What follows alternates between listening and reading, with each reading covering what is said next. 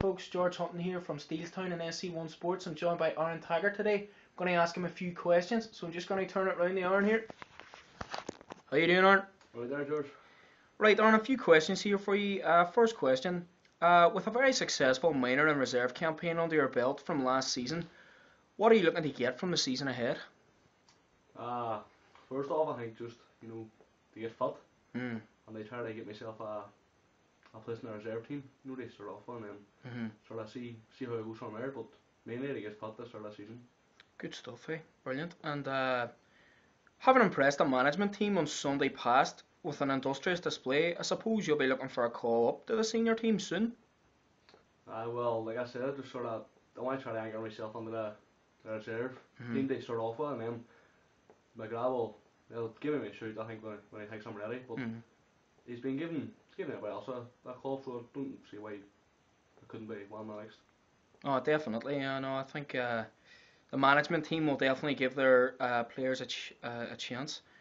Um, and I suppose coming out of the, you know, your your this is I suppose you- your mi- the minors you're no longer a minor, and you've come into the senior setup. But with other minor players coming through the ranks, is there anyone in particular you think could make a big impact over the next few seasons? Definitely, uh, likes uh, Mark Brennan, who, who had a really good season last year, and Skelly, who also had a good season. I think again, the, some of the younger boys, like Shane O'Connor, played, played well the weekend, and uh, Ryan McCluskey and Barry Downey, and just players are doing a lot of work behind the scenes. Hmm, definitely. So uh, I think I think there's a there's a few good players coming through that's going to be, be pushing to get onto the squad anyway, at least. Excellent. And um, I suppose you're here now. You've just finished the gym session. Um, how are you finding the the program itself, uh, the pre-season program? Oh, definitely. Uh, it's it's far better than what I've been doing in previous seasons, and I think the players that have been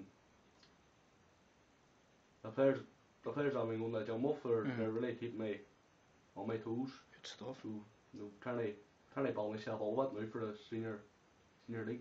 Good man. And uh, final question, Aaron. Uh, are you looking forward to the challenge of playing Division One football? Definitely. I think it's a it's a big big step up from intermediate last year.